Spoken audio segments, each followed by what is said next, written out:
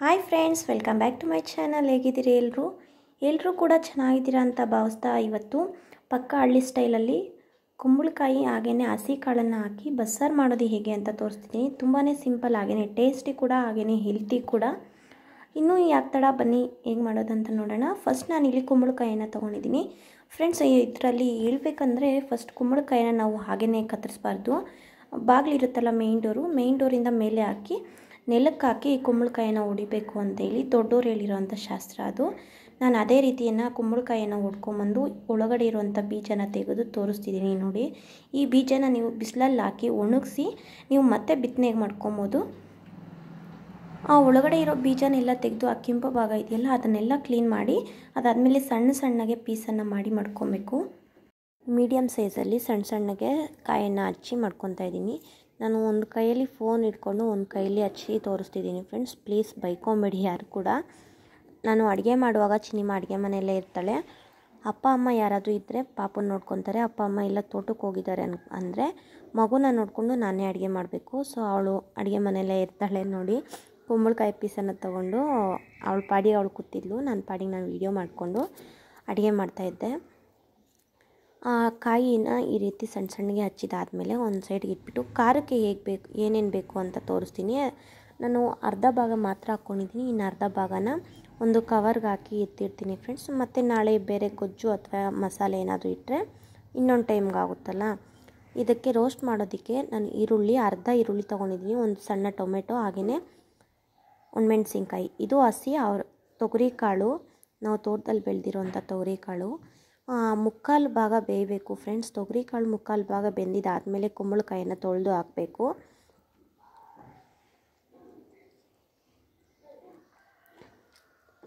ಕುಂಬಳಕಾಯಿ ಫಸ್ಟೇನೆ ಹಾಕಿದ್ರೆ ಕುಂಬಳಕಾಯಿ ಫುಲ್ ನುಣ್ಣಗಾಗ್ಬಿಡುತ್ತೆ ಅದಕ್ಕೇ ಅವರೇ ತೊಗರಿ ಕಾಳು ಆಗಲಿ ಅವರೆಕಾಳಾಗಲಿ ಮುಕ್ಕಾಲು ಭಾಗ ಬೆಂದಿದ್ದಾದಮೇಲೆ ಕುಂಬಳಕಾಯಿನ ಹಾಕಿ ರುಚಿಗೆ ಎಷ್ಟು ಬೇಕೋ ಅಷ್ಟು ಉಪ್ಪನ್ನು ಹಾಕಿ ನೀರು ನೋಡಿಕೊಂಡು ಒಂದು ಪ್ಲೇಟನ್ನು ಮುಚ್ಚಿ ಬೇಯಿಸ್ಕೊಂಡ್ರೆ ಪರ್ಫೆಕ್ಟಾಗಿರುತ್ತೆ ವಿಶಿಲೆಲ್ಲ ಹಾಕ್ಸ್ಬೇಡಿ ಹಾಗೆಯೇ ಕ್ಯಾಪ್ ಕೂಡ ಹಾಕಬೇಡಿ. ಒಂದು ಐದರಿಂದ ಹತ್ತು ನಿಮಿಷ ಬಿಟ್ಟರೆ ಸಾಕು, ಕುಂಬಳಕಾಯಿ ಬೆಂದುಬಿಡುತ್ತೆ.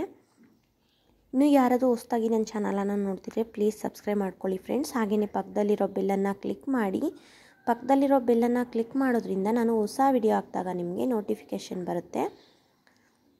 ನಾನೀಗ ಖಾರಕ್ಕೆ ಏನೇನು ಬೇಕು ಅಂತ ತೋರಿಸ್ತಿದ್ದೀನಿ ಫ್ರೆಂಡ್ಸ್ ಒಂದು ಬಾಣಲೆಯಲ್ಲಿ ಎಣ್ಣೆ ಇಟ್ಟು ಈರುಳ್ಳಿ ಒಣಮೆಣ್ಸಿನ್ಕಾಯಿ ಹಾಗೆಯೇ ಟೊಮೆಟೊ. ಇದರ ಜೊತೆ ಬೆಳ್ಳುಳ್ಳಿ ಮತ್ತು ಕೊತ್ತಂಬರಿ ಸೊಪ್ಪು, ಹಸಿ ಸಬ್ಬಕ್ಕಿ ಸೊಪ್ಪನ್ನು ಹಾಕಿ ರೋಸ್ಟ್ ಮಾಡ್ಕೊತಿದ್ದೀನಿ. ಇದ್ರ ಜೊತೆ ನೀವು ಜೀರಿಗೆ ಕೂಡ ಹಾಕ್ಕೊಬೋದು ಅಥವಾ ಹಸಿ ಜೀರಿಗೆ ಕೂಡ ಮಿಕ್ಸಿಗೆ ಹಾಕ್ಕೊಬೋದು ಕಾಳು ಮತ್ತು ಕುಂಬಳಕಾಯಿ ಬೇಯೋದ್ರ ಜೊತೆ ಒಂದು ಸ್ವಲ್ಪ ಸಬ್ಬಕ್ಕಿ ಸೊಪ್ಪನ್ನು ಹಾಕಿದ್ದೆ. ಟೇಸ್ಟ್ ಚೆನ್ನಾಗಿ ಬರಲಿ. ಹಾಗೆಯೇ ಘಮ ಘಮ ಅಂತ ಸ್ಮೆಲ್ ಕೂಡ ಚೆನ್ನಾಗಿರುತ್ತೆ. ಮಿಕ್ಸಿಗೆ ಮಿಕ್ಸಿ ಮಾಡ್ಕೊಳ್ಳೋದಕ್ಕೆ ನಾನು ಕೊಬ್ಬರಿ ಅರ್ಧ ಚಿಪ್ ತೊಗೊಂಡಿದ್ದೀನಿ. ಅದ್ರ ಜೊತೆ ಹುಣಸೆಹಣ್ಣು ಹಾಗೆ ಗಸಗಸೆ ಮತ್ತು ಬಿಳಿ ಎಳ್ಳು, ಮತ್ತು ಒಂದು ಸ್ವಲ್ಪ ಜೀರಿಗೆ ಹಾಗೆಯೇ ಬೇಯಿಸಿರೋವಂಥ ಕಾಳು ಮತ್ತು ಕುಂಬಳಕಾಯಿ. ಮತ್ತು ನಾನು ರೋಸ್ಟ್ ಮಾಡ್ಕೊಂಡಲ್ಲ ಈರುಳ್ಳಿ, ಟೊಮೆಟೊ, ಬೆಳ್ಳುಳ್ಳಿ, ಒಣಮೆಣ್ಸಿನ್ಕಾಯಿ ಎಲ್ಲ. ಅದನ್ನು ಕೂಡ ಮಿಕ್ಸಿ ಮಾಡ್ಕೊಳ್ಳೋದಕ್ಕೆ ಹಾಕ್ತೀನಿ. ಲಾಸ್ಟಲ್ಲಿ ಒಂದು ಸ್ಪೂನ್ ಸಾಂಬಾರು ಪುಡಿ.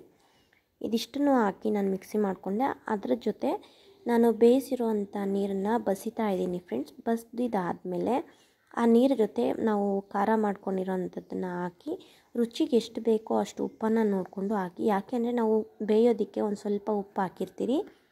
ಅದಕ್ಕೋಸ್ಕರ ಉಪ್ಪು, ಖಾರ ನೋಡಿಕೊಂಡು ನಮಗೆ ಉಪ್ಪು ಬೇಕಾದರೆ ಉಪ್ಪು ಖಾರ ಬೇಕಾದ್ರೆ ಇನ್ನು ಸ್ವಲ್ಪ ಸಾಂಬಾರು ಪುಡಿಯನ್ನು ಹಾಕಿ ಕಾಯಿಸ್ಕೊಂಡ್ರೆ ಸೂಪರಾಗಿರುವಂಥ ಬಸ್ಸಾರು ರೆಡಿ ಆಗುತ್ತೆ. ತುಂಬಾ ಟೇಸ್ಟಿಯಾಗಿರುತ್ತೆ ಹಾಗೆಯೇ ನಾವು ಯಾವಾಗಲೂ ಒಂದೇ ಥರ ಸಾಂಬಾರು ಮಾಡಿ ತಿಂದು ಬೇಜಾರಾಗಿದ್ರೆ ಈ ರೀತಿ ಕುಂಬಳಕಾಯಲ್ಲಿ ಕೂಡ ಮಾಡ್ಕೊಬೋದು.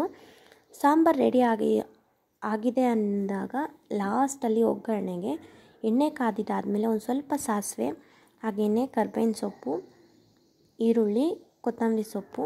ನಾವು ಒಗ್ಗರಣೆಗೆ ಹಾಕೋ ಆಗಿದ್ದರೆ ಒಂದು ಮೆಣಸಿನ್ಕಾಯಿ ಕೂಡ, ಒಂದು ಮೆಣಸಿನ್ಕಾಯಿ ಕೂಡ ಹಾಕ್ಬೋದು.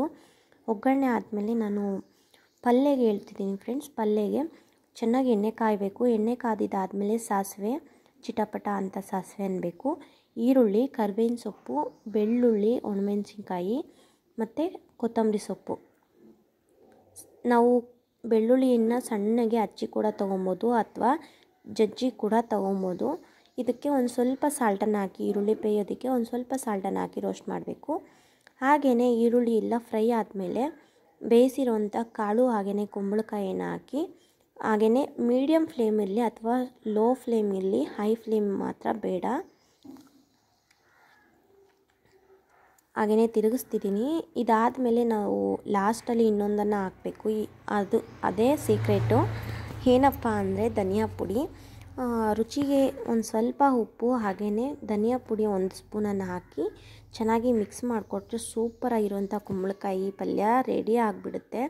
ಟೇಸ್ಟ್ ಅಂತೂ ಸಖತ್ತಾಗಿರುತ್ತೆ. ನೀವು ಕೂಡ ಒಂದು ಸಲ ಟ್ರೈ ಮಾಡಿ ನೋಡಿ ಹೇಗೆ ಬತ್ತು ಅಂತ ನನಗೆ ಕಾಮೆಂಟ್ನಲ್ಲಿ ತಿಳಿಸಿ. ಇನ್ನೂ ಯಾರಾದರೂ ಹೊಸದಾಗಿ ನನ್ನ ಚಾನಲನ್ನು ನೋಡ್ತಿದ್ರೆ ಪ್ಲೀಸ್ ಸಬ್ಸ್ಕ್ರೈಬ್ ಮಾಡೋದನ್ನು ಮರಿಬೇಡಿ ಫ್ರೆಂಡ್ಸ್ ಹಾಗೆಯೇ ಪಕ್ಕದಲ್ಲಿರೋ ಬೆಲ್ಲನ್ನು ಕ್ಲಿಕ್ ಮಾಡಿ. ಇವತ್ತಿನ ವಿಡಿಯೋ ನಿಮಗೆ ಇಷ್ಟ ಆಯಿತು ಅಂತ ಅಂದ್ಕೊಂಡಿದ್ದೀನಿ ಫ್ರೆಂಡ್ಸ್ ಇಷ್ಟ ಆದರೆ ಪ್ಲೀಸ್ ಲೈಕ್ ಮಾಡಿ ಹಾಗೆಯೇ ಬೇರೆಯವ್ರಿಗೂ ಕೂಡ ಶೇರ್ ಮಾಡಿ. ಇನ್ನೂ ಯಾರಾದರೂ ನನ್ನ ಚಾನಲನ್ನು ಸಬ್ಸ್ಕ್ರೈಬ್ ಮಾಡಿಲ್ಲ ಅಂದರೆ ಪ್ಲೀಸ್ ಸಬ್ಸ್ಕ್ರೈಬ್ ಮಾಡ್ಕೊಳ್ಳಿ, ನನಗೆ ಸಪೋರ್ಟ್ ಮಾಡಿ. ಮತ್ತೆ ಮುಂದಿನ ವಿಡಿಯೋಲಿ ಸಿಗ್ತೀನಿ friends thank you for watching